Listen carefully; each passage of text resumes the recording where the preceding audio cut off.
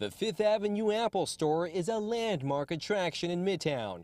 However, according to a new report, the only thing it's attracting these days are bed bugs. The New York Post reporting Apple's Fifth Avenue location, which is currently under renovation, is under siege by the bloodsuckers. The infestation said to have started weeks ago when a bedbug was found lurking on a display table.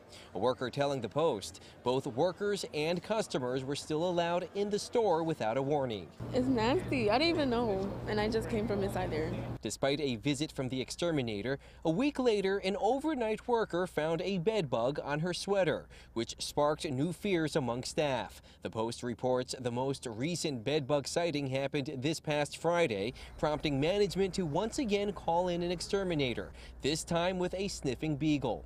Despite the hair-raising allegations, the store was bustling with foot traffic Tuesday afternoon. Some customers we spoke with were shocked.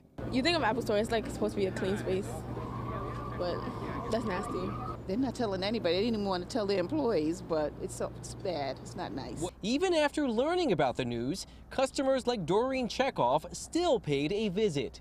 Definitely scares the hell out of me as well, but it's just, well, I'm just looking, I'm not touching. for, for knowing that, that's just, ooh. Now, Pix 11 did confirm that the Apple store in question has been serviced by bedbug exterminators in the past. However, when it comes to this latest alleged infestation, it's unclear if the problem has been resolved.